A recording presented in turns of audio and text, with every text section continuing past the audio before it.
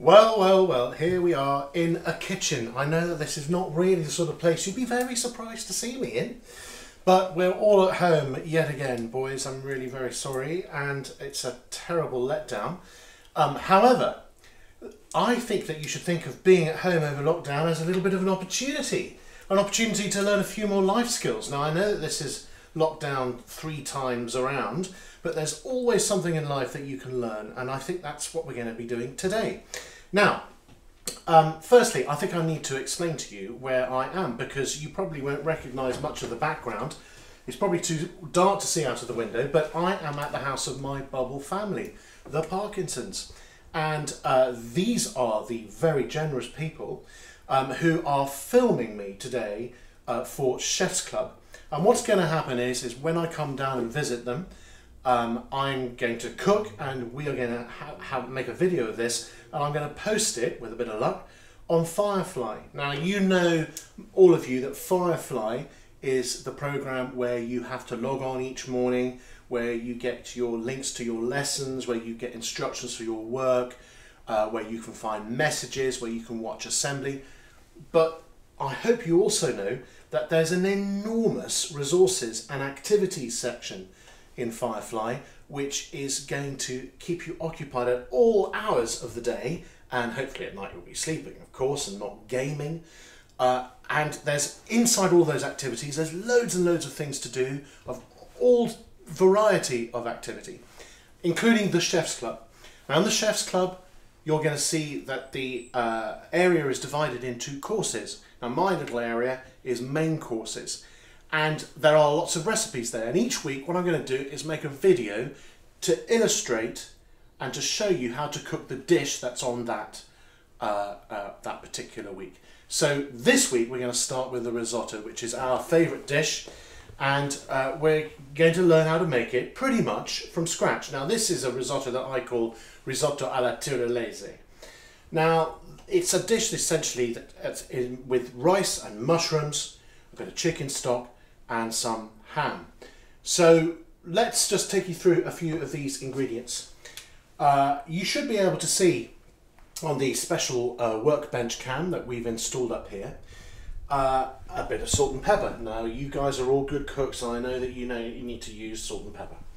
We've got a little bit of rice. That's risotto rice. It's a special kind of rice. You can't use any old thing to make a risotto because it doesn't not all rice has the same absorbent or starchy qualities that you're going to need. So this is a risotto rice. Your mum and dad will know what this is. Uh, there are several types. This is carnaroli, but there's also arborio, vialone, nano. You know, you know, go and find some. It's very easy to get. Right here, you have uh, a bit of parmesan. Okay, that's something that you add in at the end with a little knob of butter.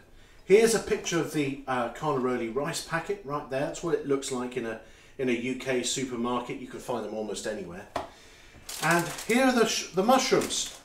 So the mushrooms in what looks like a crisp packet. Are they crisps, you ask? No, they're not. They're dried mushrooms. These ones are Italian. They're called funghi porcini.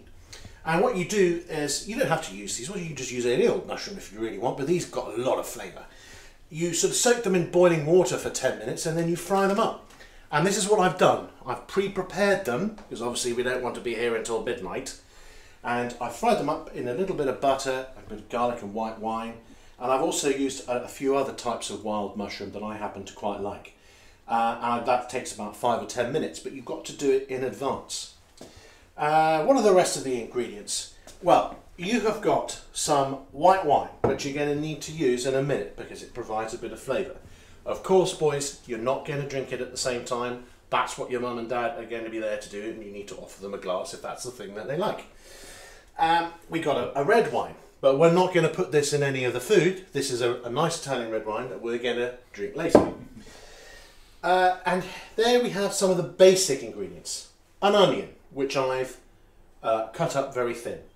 You can chop it up as uh, finely or as, as you like. You can have it in strips or in cubes. It's up to you. Depends on what you like. And some garlic. Now I happen to like garlic, so I've put in quite a lot. And here we have a ham. This ham came from an Iberico ham at Christmas time. Okay, so it's got lots and lots and lots of flavour. Over here you've got a bit of a stock. All right. Now risotto is not really about the quality of the onion or the ham or the parmesan or even the mushrooms. What will make a really good risotto is a really good stock.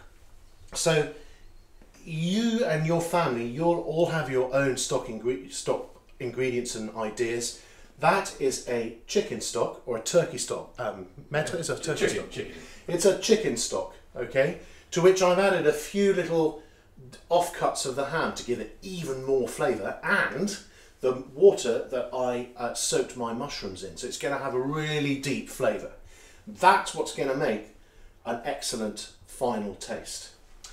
And in this pan here, I've started ahead of time a little bit so we don't have to sort of wa- watch it sort of doing things.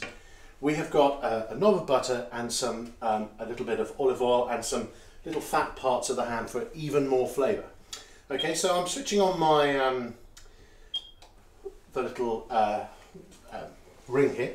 So we're going to wait for that to sort of uh, heat up a bit, and to that we're going to add our onion here. Okay, we're going to make sure it goes in not in one big lump. It's pre-sliced, remember. All right. It's going to take a little while, I think, to uh, to sort of get back up to temperature. But this is what you do. Now you don't want to sort of cook this too fast. You don't want it to burn because when onion burns, when it gets black around the edges, guys, it develops a very bitter taste, and that's going to come through in your final sort of dish. So you want to be careful about your onions. You want to really soften them. And what's going to happen is that the onions are going to um, soften down and release their juices into the oil that's in the pan. and that's another bit of flavour. So you can see that making a risotto is about layering bits of flavour on one on top of each other until you get something at the end which is really, really tasty. Now, you can see here the uh, my um, special uh, hog cam is uh, working well, which I think it is. You can see here I'm moving it around a bit to separate it all out. Now, a lot of people would prefer it if the onions, as I said earlier, were very, very finely chopped. That's quite a good idea, I've got to be honest, but what we quite like with this risotto was a bit more rustic, is we want to leave them in slightly larger bits so we can see them come through in the, um, the final dish. Anyway, so we're just sort of waiting here at the moment for those to soften. Um, I'll talk about the rice in a minute. I suppose we could talk about holidays, couldn't we? So you, it's Christmas time, so I suppose you guys been hopefully at home, most of you. I know that some of you weren't, weren't able to get home. I'm really sorry about that. It's a difficult time, isn't it, that you're living through? But it is all going to get better. It will eventually. You must have faith. Now, I was at home myself, and it was quite nice, very quiet, just with my mum, and uh, yeah, very quiet actually. Spent most of the time trying to heat the house up, um, fetching wood and lighting fires and doing bits and pieces.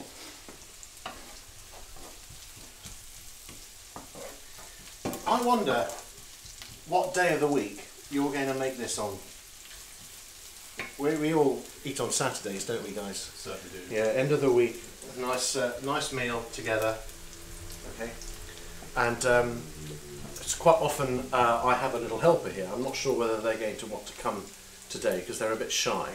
Maybe Um, round two. Round two. Okay, round two, director. Very good. Okay, Mike. Um, so uh, you'll be able to see when we make other dishes. Uh, you can cook along. All right. Now, the key thing that you need to do if you want to do this is to understand that it, everything like this comes in stages. The first stage of any dish that you make, as I'm sure your mum and dad will have told you if you if you cooked with them, is to get everything ready first. That's called prepping, preparation, like when you do prep. Well, we're meant to call it private study, but you know what I mean. You get everything ready first ahead of time. You see, I've chopped this up, I've chopped that up, I've weighed out my rice, I've grated my parmesan. That's prepping. So that's the first stage. Now in a risotto, the cooking actually comes in two stages. And what we're doing now, a little bit ahead of time, because at the moment it's only 10 to 5 here, so we're not going to eat risotto at sort of, uh, you know, quarter past five. We'll make, we're doing a first stage here. And we can then leave that until later and film and do the second stage of the cooking then. Now what's happening in the pan here is that the onions are softening up. I'm keeping them moving around because I don't want them to burn. Alright? I don't want them to burn.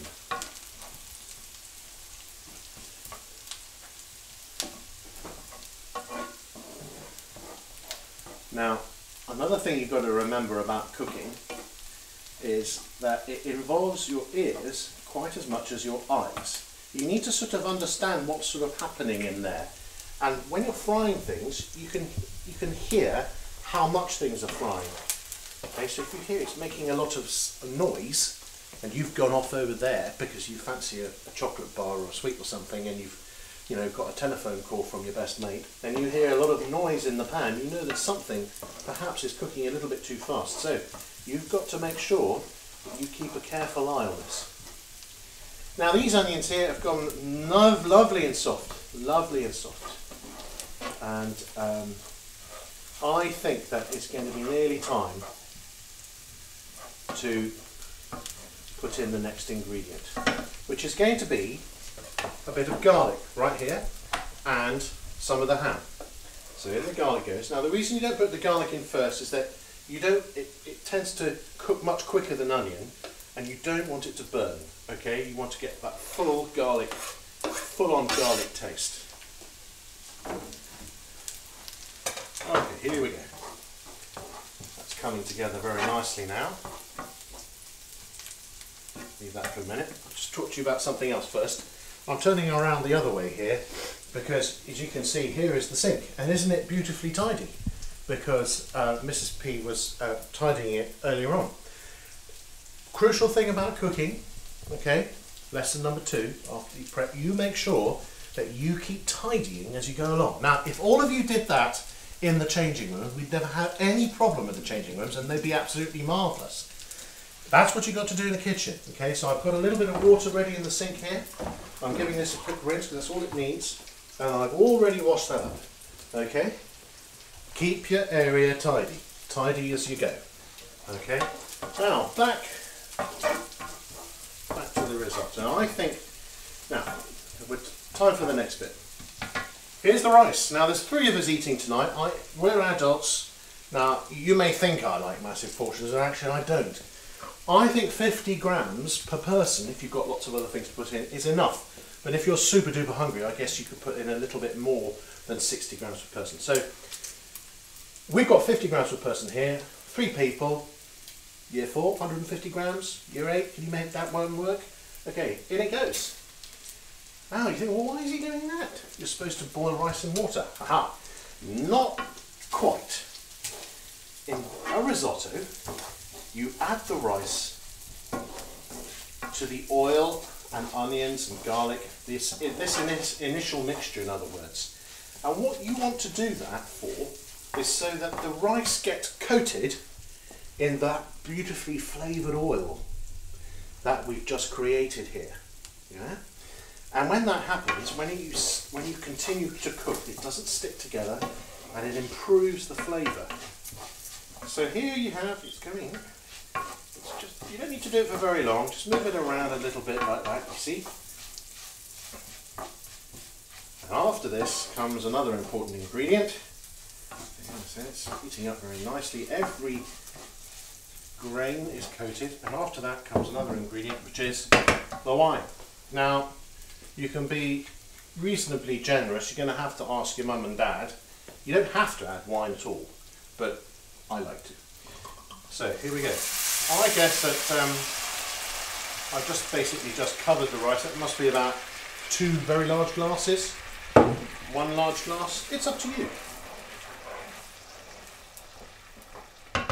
Right, now at that stage, what we're going to do is we're going to let the rice boil, uh, the uh, liquid boil, I beg your pardon, so that the alcohol in the wine boils off. And then we're going to switch off the heat and that is the end of the first part. So here we go. Oh, you can hear the beeps. Zero. And that, guys, for the moment, is that. And you can leave that for several hours now, and you cover it, and you can come back to it at a later stage when you're ready to cook, uh, finish off the dish for your meal. And that's that. See you a bit later.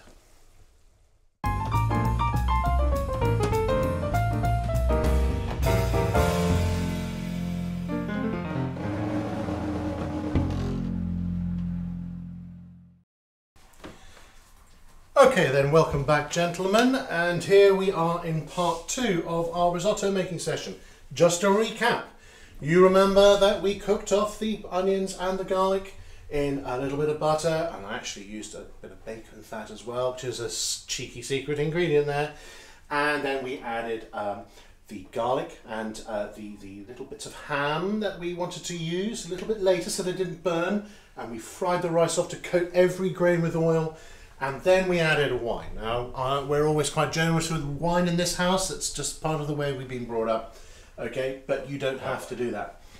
Now, I wonder whether you can remember back to the very beginning uh, when I was introducing all the ingredients. Now, Handy's uh, cam here, looking at this, this is our stock. Okay, now, now we're going to start using that. What I'm going to do, I'm going to start heating this up, and uh, here we go. I'm using some uh, technology here. Um, here we are. Okay, that's going to start getting warm. The stock is already quite hot and we're going to add this to the rice bit by bit. And at the end, when the rice is cooked, after I would say about 10 to 12 minutes, then we're going to add our beautiful mushroom here and then some parsley, okay, which we're going to chop up. Top tip, how to chop parsley using a pair of scissors and some parmesan, and then we'll be done. Uh, except for one thing. Always remember, salt and pepper. Very, very important. But it's probably best not to salt and pepper too much before you finish cooking a dish because you never quite know how salty some of the ingredients are going to be. For example, stock tends to be a bit salty. Now, this is um, heating up a little bit here. Uh, I'm now going to put in a ladle right, of this stock. Possibly another one as well. Ah. And eventually, when the pan starts heating up, we are going to be in the business. Now, this stage of making a risotto is a bit repetitive. Most of the time, you tend to add stock mm, three times. And you just got to keep going, just keep stirring it in. There's a reason why you ought to try to keep stirring as much as you can. You can't really leave it alone too much. All right, and that's because the more you stir the rice, the more the starch sort of is released from the grain. Okay, forgive me for not being too scientific, and it makes it creamier. Now, I'm a, I'm a, I'm a very important chef here, and I don't really do stirring terribly well. And uh, in this house, of course, we have uh, very many apprentices that are here. Uh, so we're going to introduce one very, very talented young lady. Uh, here we are. This is my assistant chef for the evening. Uh, this is Imogen. She's about to go on an international cooking course in New York, but unfortunately can't because of COVID. Now, Imogen is going to keep stirring here. Off you go. Come keep going, girl. Uh, which means I can sort of sit here and relax and talk to you. Now, she's going to stir in sort of nice, sort of gentle, sort of circular motions. By the way, uh, gentlemen, just in case you were wondering, uh, when you cook in a kitchen, it's always a good idea not to be in bare feet, just in case you step on something hot or cold. Okay, just remember that for next time. Right. Um, I had a couple of other things I wanted to talk to you about. Um, we're here in uh, we're in London, as it happens, uh, because that's where um, my bubble family, the Parkeys, that's where they live and uh, they are very very generous in having sort of arranged for us these little sessions to be filmed so we've got them to thank that we can do all this because I could never do this on my own. And I'm not as talented as Mr Jones you know and I can't sort of set these things up like he can. So um, at the end of this film you're going to see special credit page. It's going to be Parky TV and that is uh, the special company that uh, uh, Michael and Claire use to produce all sorts of videos like this, uh, including live streaming from the churches and from local concerts and things like this. It's fantastic that we're able to do it. And may and it does go go to show that even in lockdown you can take up a new habit. Because if I'm right, Parky, this is something that sort of he really started to develop when the first lockdown happened, and it's all come to. He's got a huge storeroom of cameras and impressive equipment, and he makes sure that he uses them, and everybody in the family gets involved, and that's a really good thing to do. You should try doing that in uh, lockdown. Set yourself a big challenge because you don't have to work all the time, do you? I mean, you don't tell the headmaster I said that, but really, you don't have to work all the time. How's it going then? This is quite hard work. Is it holding up the boom Ah, yes, indeed. And operating the camera. And operating the camera. Is that hard work, Modge? Yes. Yeah. Speak to the camera because the b- boys are watching. Yeah. There'll be thousands of them. So, what's happening here? Just just explain what's happening here. What- Um, it's It's bubbling. Okay. Now, I talked to you earlier on, guys, about using your ears as well as your, as well as your eyes when you're cooking. Okay. You can hear that it's bubbling away quite nicely there. And what's happening is that the rice is absorbing that stock. All of that flavour that's in there is going into this uh, the, the rice dish. Okay. Now, Imogen, can you put another ladle full, or maybe a ladle full and a half, in there? Wonderful. Oh, I'd go for another one. I wish you could smell this, fellas. It smells absolutely fantastic. Really delicious. But really, you know, a risotto doesn't have to be this flavour. You could make a risotto any flavour you like. Well, within reason, you want to want probably wouldn't want to make one with bananas or grapefruit or something, but you can make risotto with vegetables, with a beautiful vegetable stock. All of those old bits of the ends of vegetables that you throw away, don't do that. Put them all in a beautiful stock, and it's fantastic. And you can eat it as a soup. Um, you could do one with beef stock. You could do one with fish. Ah, those are the best. Actually, the very best ones are the ones you make with lobsters. Oh. Because you take all the meat out of the lobster and then you use all of the, the head, all the bits that you think, oh, I don't want to eat that, throw it away. You make a beautiful sort of seafood stock with that and then you use that to make, cook your rice and the depth of flavour is fantastic. And I promise you that if you learn how to make a risotto properly, keep stirring up, uh, you've got some a dish that you can adapt for life. Oh, and by the way, you know, I, I tell you this, and I have, you know, I have my helpers here. I'll tell it in front of them. You know, any future partner that you might decide to marry, they'll be very impressed if you can cook. So it's an incredibly important life skill. In my country, if a man can't cook, he's not really a man. I'm not going to say what it's like in this country, but that's what I think. Tell us about the truffle risotto, Mr. Edwards. The truffle risotto.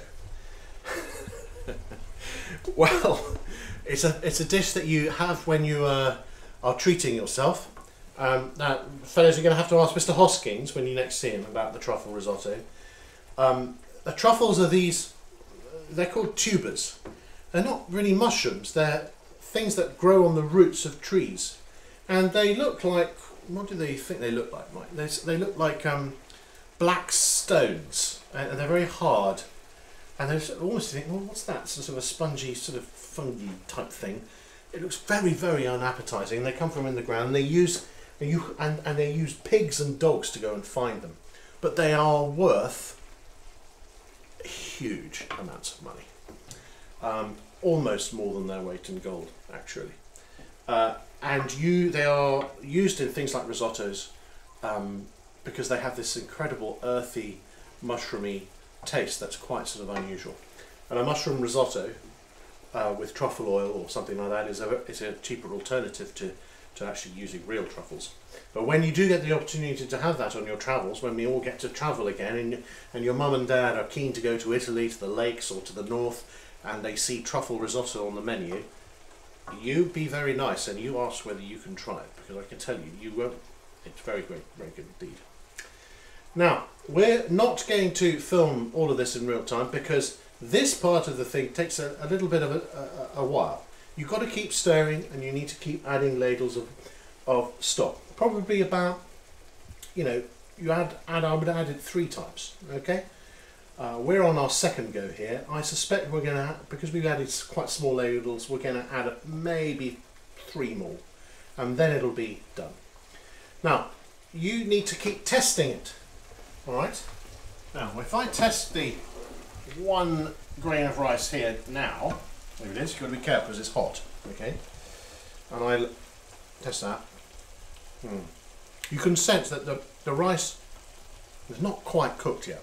So you, have, you know that you need to keep going for a little bit. You want it still to be a bit hard in the middle, a tiny, tiny, tiny weensy bit. But what you don't want is it to be mushy. I think it's time for some more uh.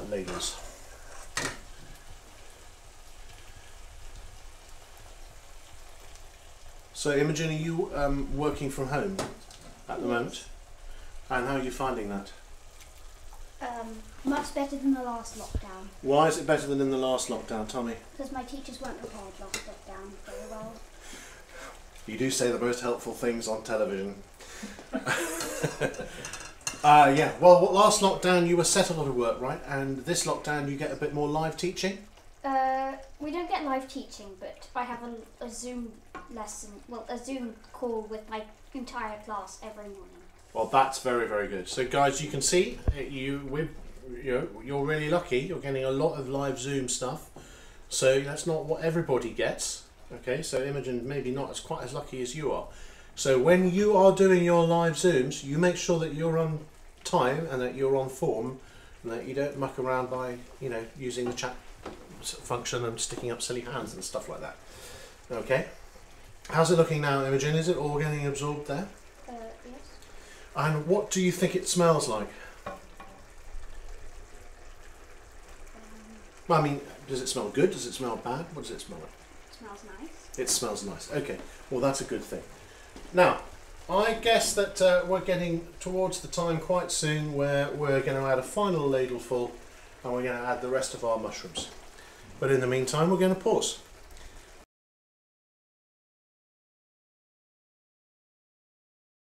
One of the things that I will have told you in your PSHE lessons, uh, certainly if you're in year seven and eight, but I'm, I'm sure that Mr. Hoskins has told you if you're in year, five, year five and six as well, and Miss Safdari has told you if you're in year four, is that when we're all at home here, it's a quite challenging situation for many families. Now, it's challenging for you because you know you can't be at school. We want you to be at school, and uh, we rather miss you. I'll be honest with you. we do miss you when you're not here. But when you're at home, you need to make sure that you adopt a school attitude in the week, that you have a sensible routine. You get up on time, you have a shower, you take daily exercise, you turn up for your classes, you behave well, you do all the work. All of those things that you'd normally do at school. And a good idea to remind you of all those things is possibly, if you can manage it, actually, why don't you wear your school uniform when you go to your Zoom lessons? Then it'll remind you that you're at school. But the other, and this even more important thing about being at home, is that mum and dad, they're at home as well, with you probably, and they're also probably working as well. And they've got to look after you too. And they've got all these other pressures that normally they may not have if you're at school. So it's incredibly important that you play your part. Now, Imogen here, and Bridget, and Ruth, and Francis, who are the children of the house, I should say the young ladies, naturally. Uh, put a bit more stock in that, would you? The young ladies of the house, they all play their part, they're really good, and they help out. And that's possibly, I think, one of the most important things that you could do uh, to, to, to, to sort of assist and to make life really easy for uh, you know your mum and your dad and the rest of your family in lockdown. Help out, become a person who's eager to assist people, to lend a hand. That would be really good. And by cooking, making a dish like that, that will be very uh, well received and it'll be very kind of you to offer to do that. Now I think we're getting slowly towards the end of our uh, dish here. Marge, can I take over for a bit? How are you thinking it's looking? Are you happy with that? Have we, have we tasted the grain of rice? Of rice? Okay, here we go. Yeah, I think that's good. Now, I think one more. What do you think? Hmm? So still got a little bit of bite. Now the Italians call that al dente. And most people think that only applies to spaghetti. No, it does leave it a little bit harder. It also applies to rice. Whenever I've been to Italy, a lot of the risottos I've eaten, the rice has been quite al dente. So we're coming to the end here, and you notice that as I was waffling on and on and on and on, Imogen was really doing her weekly workout and stirring. It's pretty hot over here. Uh, and the water, the stock, has been absorbed. Okay? And we're nearly at the, at the point where we can say that we finished the dish. What we're going to do is we are going to very carefully, this is my mushrooms, remember that? We're going to add these to the pan now. Okay. Stir them in nicely. There you go. I've got my water ready, naturally. We're going to chop up some parsley. Never chop up parsley in advance, okay, because it'll lose all the flavour. Quick way of chopping up loads of herbs, stick them in a pot, something like this, a mug, a plastic beaker I use at home, and then get your scissors in, and that does it very, very effectively, very quickly. So that's ready for the end. I think we're nearly there. Right, pepper, very important. Let's go. I'd say about, um, oh, I don't know, 10, 15 turns of the pepper mill. There you go. Stir then. Salt. Salt. Very important in cooking. A lot of people are frightened of it. Don't be frightened of salt. Just don't put in too much of it. Too much salt in your diet you know, is not a very good thing. However, it does bring up flavour quite a lot. Um, so we're going to put in a little bit amount at, at first because things like this Parmesan cheese is quite salty in itself. We don't want to overdo it. There we go. We'll dr- drew that for to start with. Right. Now, as you can see here, guys, all around, Imogen's been doing a cracking job. All, nearly all the liquid has been absorbed. It's still a little bit sort of, fluid, but not run. And that's exactly how you want it. I'm going to switch all that off. Okay, you take it off there, let the steam go, and then we are going to put in our parmesan. As you can see, there's a little knob of butter there.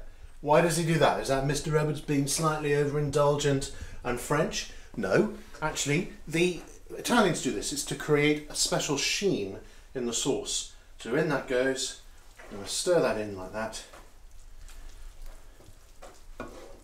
And then we're going to put some parmesan in. Now you can either put a bit of most of the parmesan in and then save some to sprinkle on the top. Let's do that, shall we? When I was younger, I was I was forever making these sorts of risottos with far too much parmesan. And I, it took me a long time to learn that you don't need to do that. You only need a little handful because there's so much flavour elsewhere. And if you put in loads of parmesan in gin, it doesn't really end up tasting very much except parmesan, which slightly ru- ruins the point of it, doesn't it? Here's my parsley, in it goes, like that.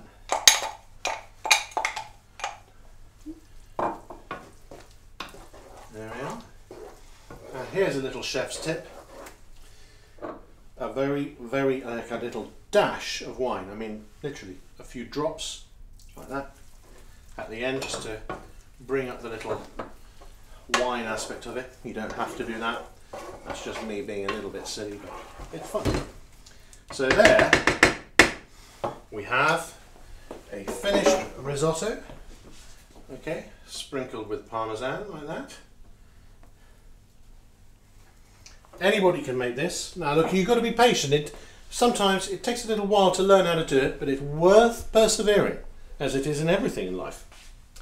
And we're going to make sure that Imogen tries this. You are going to try it, aren't you? Okay. Excuse me. So I get. And there we go.